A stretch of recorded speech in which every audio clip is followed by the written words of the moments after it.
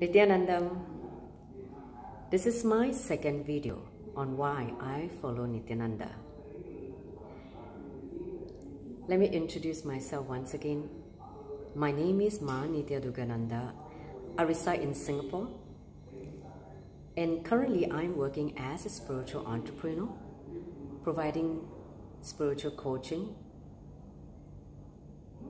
counseling, and also healing for people who are suffering from psychosomatic disorder and physical chronic diseases. What I do is I combine the Vedic psychology into the science of yoga and science of healing. That is my gift to the world. Now, before I was doing what I'm doing now, I was a marketing professional for 18 years. And you should know that as a marketer, my job is to create desire, demand, to fuel the whole consumerism, which drive people into this buying,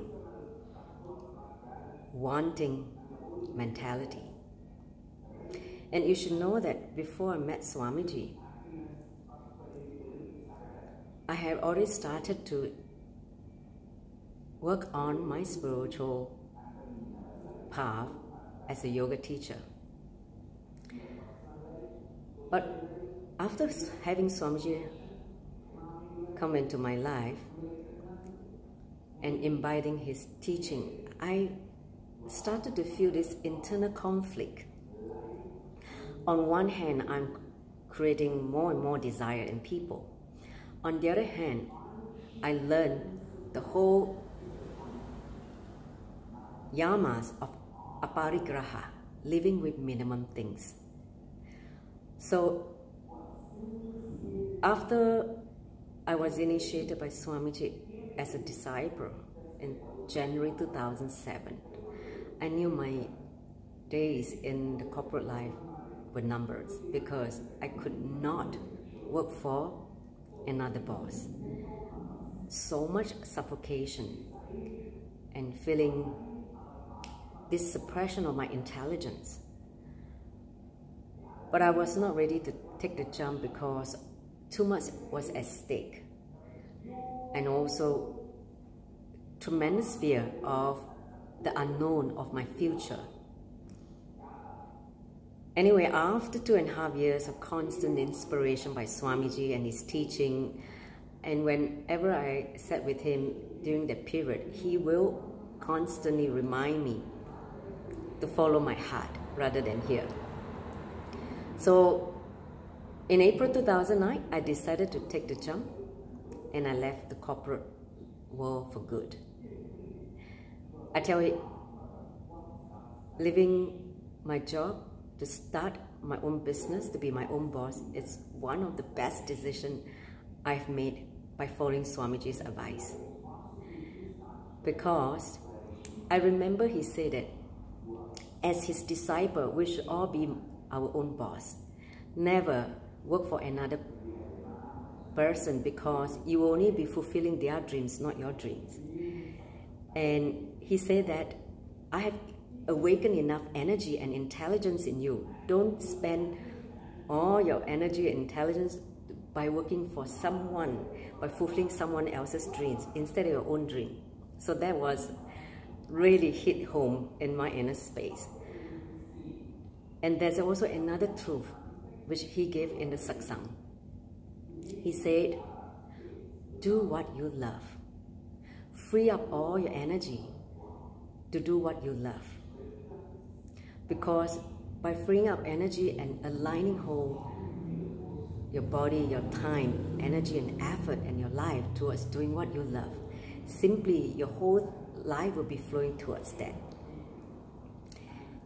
And you will start to experience that whatever you're doing, you'll be celebrating what you're doing.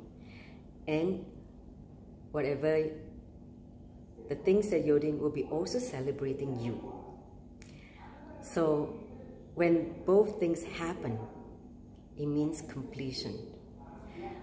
So I must say that Swamiji brought completion in my life purpose in terms of sharing my gift to the entire world. Not only that, in that process is a continuous expansion of more fulfillment and more and more fulfillment.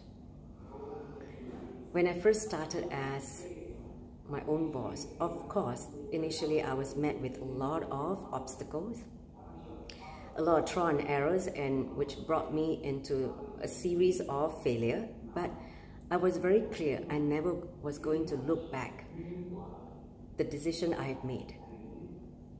I held on to my vision with will persistence, which is what Swamiji taught me. And in fact, in my inner space, there was no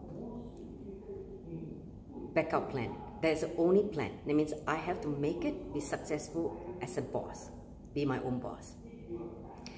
So I'm so glad that after 11 years, the kind of transformation Swamiji has inspired me and given me and showered me, continuously guiding me to flow with life in terms of doing what I love.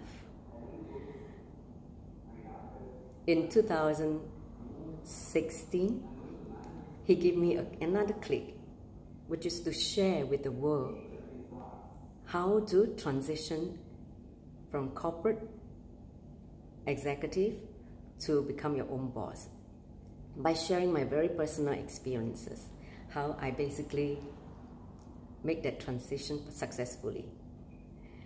So in 2017, I started a program called Be Your Own Boss, but which was later on uh, changed to Spiritual Entrepreneur Incubator. So that was a program I basically coach aspiring spiritual entrepreneurs. And I'm so delighted to see so many people had started to benefit from this program to align themselves towards becoming their own boss. And one of the most beautiful thing is when you start aligning yourself, you have more and more time to be able to do the mission work, what Swamiji is doing, the freedom if to decide how you want to spend your life, spend your day. That's the most beautiful thing. So much freedom, no more suppression and suffocation. So becoming my own boss allowed me to pursue my spiritual expansion, be able to listen to Swamiji Satsang daily, and not only that, have the freedom to fly to Bidadi to attend in awakenings or December program. That is bliss because when you're working for another corporation, applying leave for 21 days is almost impossible. But when you become your own boss, I've seen that over the last 11 years, so much spiritual expansion happened in me because of the fact that I free up all my energy and just basically focus on what, you know, I love by doing what I love and sharing with the world. And so much joy and bliss happened inside me and continuous expansion and more fulfillment is also happening inside me. So in a nutshell, I want to share with you why I follow Swamiji Nithyananda because he completely brought completion into my life in terms of the purpose of my existence, doing what I love and fulfilling my life purpose. So with that, I'd like to finish this video. Thank you for listening. I highly encourage every one of you to also share your experience why you follow Nithyananda. So let's jump on to this. It is going to be such a wonderful positive shift in the collective consciousness. I welcome all of you to create your own video. Thank you. Nithyanandam.